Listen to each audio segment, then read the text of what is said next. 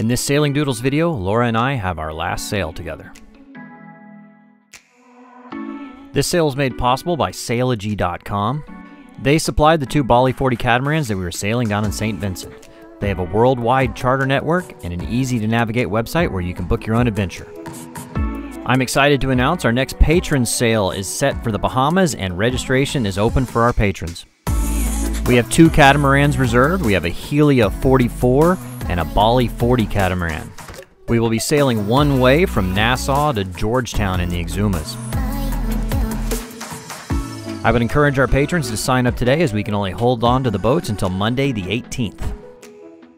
My lips are sunburnt. It's a good way to start the day, sunburned lips. Kind of like the crackhead thing going on with the white lips. How's your Hey, you can't put that on there. My uh, my my food poisoning is back. I feel okay, just the plumbing's not working too well. Uh, but uh, sorry, you didn't need to know that. Kind of hanging out in this uh, lazy morning. It's kind of rainy. Uh, we're gonna head north to Bequia. It's about 20 something miles, so we're looking, you know, four four or five hours of sailing. Um, should have good wind for it. Uh, maybe beating into it slightly, but should be a good little little sail. And we got one more night. We're gonna go to Admiralty Bay there and go see the sights. We may try to do a little swimming here before we leave because that place is a bit more, I don't know, populated. And this is kind of like a nice little calm, isolated day. So we're having a good time so far. We decided to go spend a few more hours on shore before heading out.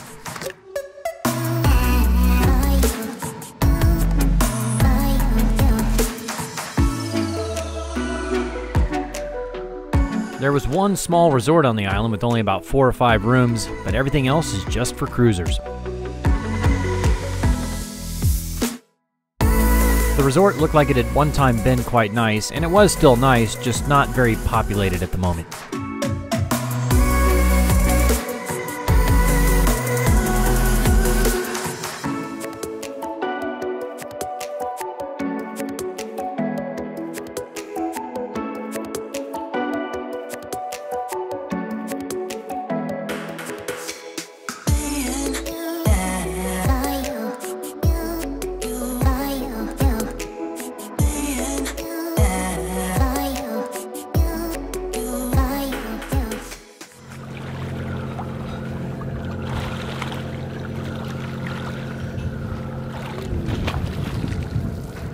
All right, Chatham Bay on Union Island, a uh, pretty nice, relaxing spot to hang out. If if we were actually cruising, we weren't here for just a week. We'd spend four or five days here for sure and just chill. Um, so if you're gonna cruise through here, definitely check it out. Nice spot. Good little restaurant over there and some beach bars and stuff. So pretty chill Wanna place. play though. a game? Not really. No, no, no. Okay. So now we are headed up to Bequia. Uh, one more night on the boat and then we gotta take back.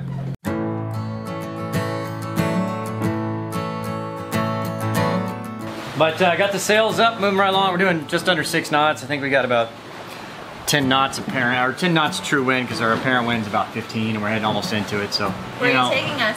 we're going to Bequia. Um, it's about 27 miles to go total. So, and it's already like 1:30 or 2. So if That uh, place has a pretty good reputation, doesn't it? yeah, take a look at it. You know, we don't pick up some more speed here soon. We'll probably just motor sail so we don't get into like, you know, sunset. You always want a motor sail, but you never want a motorboat. That's not true. That's not true. One of those is not true. Wait, both of those are not true. we definitely got our wish for more wind as we actually had to reef both the main and the jib just a little bit.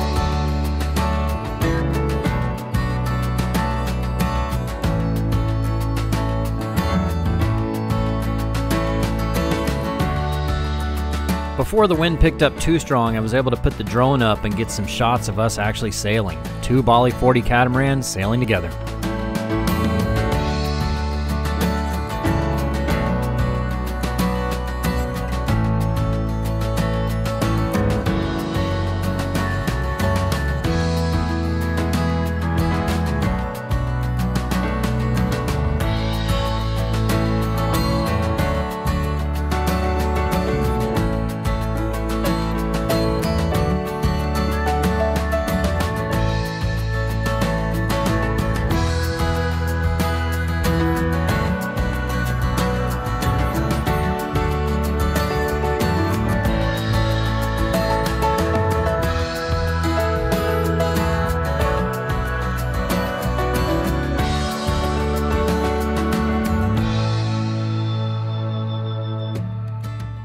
Made good time and pulled in well before sunset.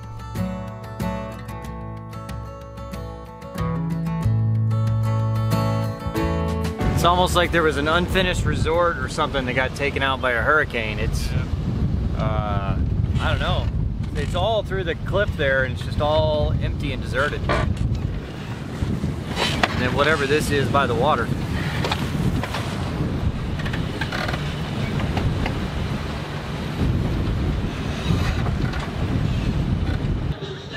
There were several loud clubs and restaurants right there at the mooring field. We are here in Bequia. Uh, what are the odds? It's just sailing such a small world. We're pulling in as I saw Hylas over there. It's like, eh, I'm gonna go check that boat out. And like, hey, there guys, is that a Hylas? And like, yeah, what is it, like a 60? And they're like 63. And then the captain takes the sunglasses off. I'm like, hey, it's the same, one of the same guys I met at the Hylas event in Annapolis. He was the captain on the Hylas 70. I heard that one was for sale, so maybe he's captain on this one now. But pretty interesting. Small world. The other catamaran pulled in right at a beautiful sunset.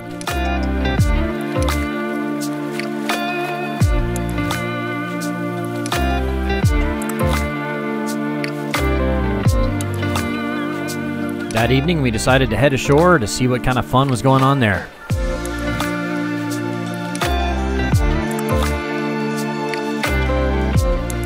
Some of the restaurants were very busy with a party. gonna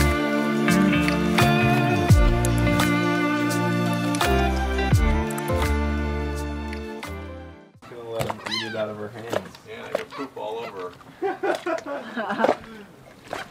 All right, let's see if they can catch here. Here you go, guys. Hey. Oh, no. they didn't catch it.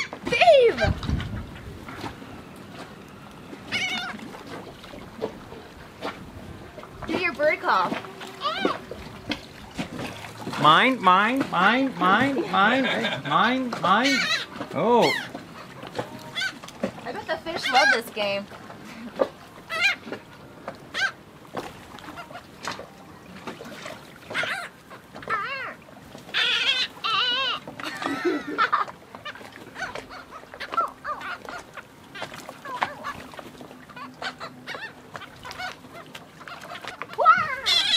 Whoa! I wonder what happens when I throw this much up. no.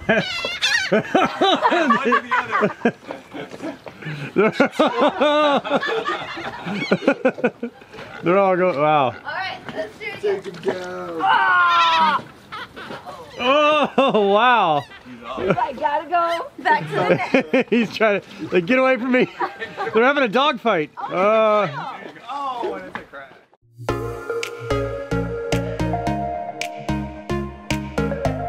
We went ashore to get a daytime tour of the island.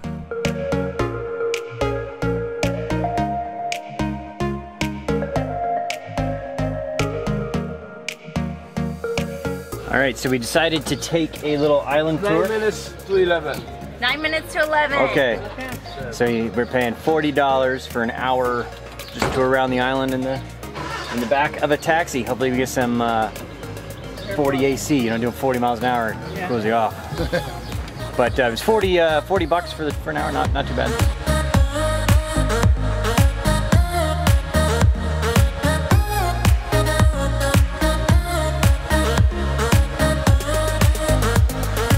So this is Fort Hamilton. It's actually named after Alexander Hamilton, one of the founders founders of the United States. He was born in the West Indies. I did not know that. Uh, but uh, this was built in the mid 1700s to protect against American privateers and French raiders from the uh, protect uh, the, against those from the British. The, the story is that uh, what um, a cannon split split the split the end of the tip off over there. Yeah, yeah. The end of this. Yeah. mhm. I don't believe that. Yeah, that's a long shot. Yeah, that's a long woman. Yeah. Yeah, so I was saying we only have 6,000 people. We don't have college here for the kids. Uh-huh. If they want to go to college, they will have to go over to St. Vincent, that's the main island. Every morning at 6.30 on the ferry and they go over to St. Vincent for college. And come back in the evening at 5 o'clock or 6 o'clock. Wow. Yeah, every day. Only on Sunday they don't go. Wow.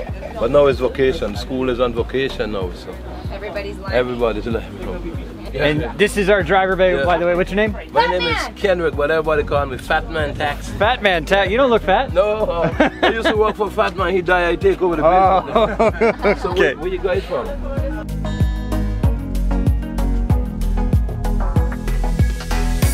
But these are not goats. These are are sheep. sheep. Because The the tail. tail are down. The goat tail are up. Yeah, the sheep tail. So these are sheep. Sheep. So a goat has a T at the end, So so, it goes up, Up. and a sheep has a P at the end, so Yeah, it goes goes down. Okay. All right.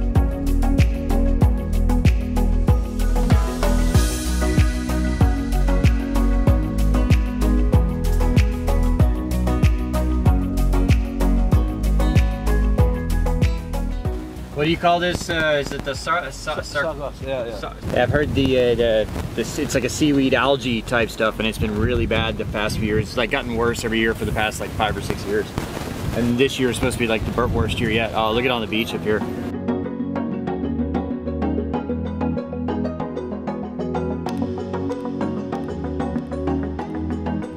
Smell it, babe? That's not me. That's the that's the problem with that stuff is it does smell like the seaweed that we found in the med didn't. Ooh, yeah, it's stinky. Yeah, this. Yeah, yeah, yeah. No. Thank you. Yeah. The sargassum can be a real problem and can shut down entire beaches and resorts.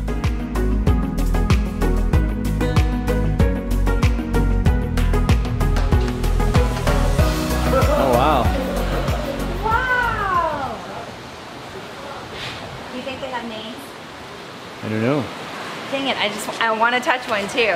Well, those aren't like babies. that. Oh. So I've, yeah, well he'll tell us. I've seen so many. Uh, But it will be quick oh yeah. because they are quick. Yeah. They can bite you. Will they bite you? That would be a cool story. How you lost your finger. And their beak is like a parrot. Yeah, a beak like a parrot. cut you easily. Okay, Oh wow. So what? Are you part of the reason I've seen more turtles here than anywhere else? But I suppose I am here 24 years doing this. Uh huh. I have released 944, Okay. Really? so you should see some of them. They look really friendly. Well, slow and friendly and gentle, but Okay. what, they really, re- what they're really looking for is food. They are. What do you give And I them? feed them a little fish, and your fingers look like a little fish. Oh, So, What kind of turtles are these? hawksbill. Haw- hawksbill. Hawksbill. Look at their feet. Yeah. And how long do they live? 200 years. 200 years. All turtles live 200 years. And so, how old are these? These are about three and a half. And then the ones over there, the bigger ones. Those bigger ones are five and six. And so, how? What age do you release them? Those sizes. About once they get there. Okay. Those. And so they have no problem adapting to in the wild. Not like- at all, not yeah. at all. That's the wall Yeah. to adapt. Yeah. They are made to adapt. Okay. Yeah, they're cool. I'll nice. tell you why. A little baby, Yeah. when it goes into the sea, it eats jellyfish. Uh huh. It lives away out in the ocean eating jellyfish. Uh-huh. It grows to this size and then comes back into the reef. Okay. Then from eating soft jellyfish to eating crabs and roaches and crustaceans and so. Mhm. So it, it's made to adapt. Yeah. That What's the name of this place, Laura? whalebone. Wishbone. No, it's not. Whalebone. Whale Boner is the name of the place. You don't know what that is? I don't know what. You what don't. is. You don't get that? Why that's funny? Really? Is it the obvious or is Yeah, it it's obvious. else? Okay. Whale Boner. That's the name of the place. How many times are we gonna say whaleboner in one minute? Whaleboner, whaleboner, whaleboner. Demonetized, demonetized, demonetized. After exploring ashore, it was time to head back to the boat. Getting ready to leave Bequia, and it's about nine miles uh, back to St. Vincent Blue Lagoons, where we're taking the boat. Got to be there by 5.30 tonight and it's already a little after 2. So we were talking about going around south around the island and coming back the long way, but I don't think we have time. So we're just gonna head the nine miles and head back. But uh, beautiful place here. Pretty cool spot. Definitely come check out St. Vincent. All right, we went ahead and put the uh, the main up while at the mooring. It's just easier sometimes that way. And the guys are gonna let loose the uh, the mooring lines here and we'll be gone.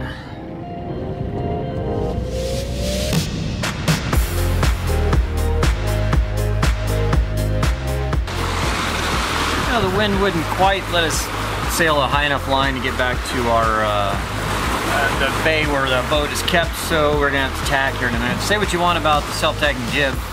You know, it's probably good for charter because it's self-tacking and pretty easy, so we're about to do that.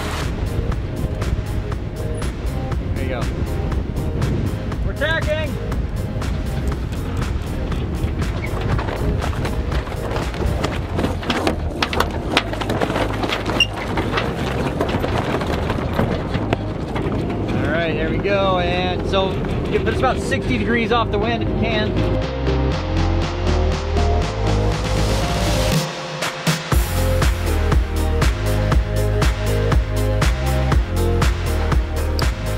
Made it on the dock unscathed. What do you think, Laura? How was the Grenadines? I don't want to leave.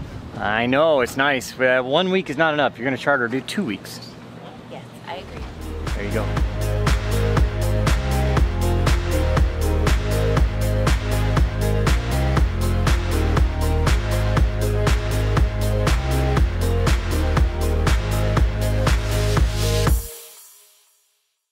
So, how was it? It was amazing. I loved it. What was your favorite part? Um, sailing in 30 knots of wind. That was fun, huh? That was. Throwing some reefs in there. Yeah, it was exciting. Um, All right, some great. big waves and it's cool. So, what did you think about um, having different crew, people that you didn't meet before? And Um, I think most sailors like each other, so it was awesome.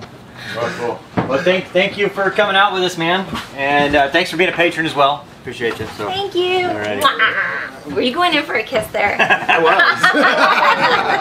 was. so, guys, how was the whole trip? It was a blast. Yeah, you had fun. Good, yeah. You had a better time than you thought you'd I have. definitely did have a better time than I thought I would. Okay, Yeah. cool. And how did you like the catamaran and everything? Camera was good. You know, like every boat you, you rent, there's good things and bad things. Um, I learned a lot about self-tacking jibs. I Yeah. never used one of those before, so I learned a lot with that. And uh, had a great first mate. We worked well together. Russell. Yep. And uh, it was a great experience. Uh, this, this area down here, I would really like to come back down Yeah. here. Much different than northern Bahamas. Yeah. Oh yeah. It's, it's Topography different. and everything. Beautiful. Thank you guys for coming down. Thank you Thank for you for being having us. patrons. I really appreciate it. And I guess we'll see you on the next one. Let's hope so. All right, guys. So how was the sail? Oh, over the top, awesome. Uh, exceeded all expectations. Um, really put things in perspective, and I think uh, I've got some thinking to do. Yeah. You, you you still got to figure out if you're going to do it full time or not. Yeah, um, take a couple of weeks, let it sink in, look at my options, um, and uh, I think I'm going in the right direction. There you go. There you go. And you now you got to find a job where you can work remotely and just do this, right? Right, absolutely. uh, it definitely gave me something to work towards. Um, and my favorite part, well, one of my favorite parts was actually like getting in the water and, and, and swimming through the reefs and all that. And then, you know, just being able to learn a little bit about sailing while I'm doing it. obviously, this isn't like, you know, me going through it to learn how to sail necessarily, but I still got, you know, Yeah. a lot of knowledge through it. So, Well, guys, awesome. thanks for coming out. I Yeah, appreciate, appreciate you. it. Thank And you so for being a much. patron. I thank you so much. So, and uh, we'll do a couple more of these soon. I'm sure in the next six months we'll have another uh, little cruise. So, We'll be there. all right, sounds good. So we're wrapping up the charter here, and we got Josh. He's got the he's the man with the clipboard, yeah. making sure we're, uh, the boat's okay. Correct. Okay, uh, everything should be good on it. So we didn't mess anything up. We didn't hit anything. So far, so good. yeah. All right, all right. So we take care of this, and then we're gonna stay in the hotel for a night. So hey, make sure you zoom in on me, she's working. I'm I'm pretending to work. please. That's like 160 proof, or it's like 80 percent. Zoom in on the bottle. 80. Oh my gosh, 85 percent alcohol. Woo! Exactly. A little ginger. Oh. okay, okay. I, you're already hot enough. Hey, Nearly come let me, man. Ah. Woo! I'm working on it. oh, no, it's good for you. You're crying? I can light my breath on fire. Yeah. that. I'm not even joking. Whoa. It's good. Do another one? Oh no no no! no more. It's like nine in the morning.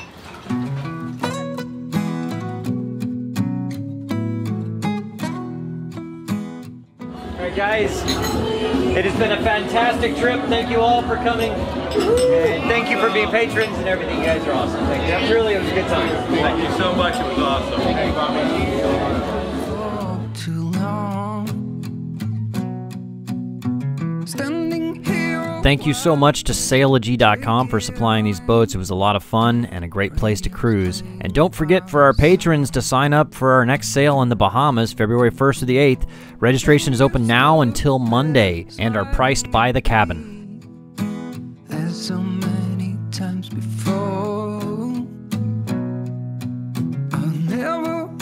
If you'd like more information on what's going on with Sailing Doodles, including why this was Laura's last sail, check out our new podcast. There's a link in the show notes for the Doodles podcast, so please give that a try and subscribe.